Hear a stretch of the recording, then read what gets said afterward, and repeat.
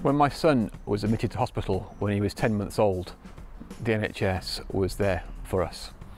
When he needed chemotherapy, bone marrow transplant, intensive care, the NHS was there for us.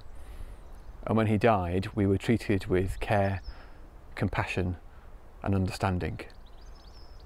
And all of that free of charge. That's what the NHS means to me.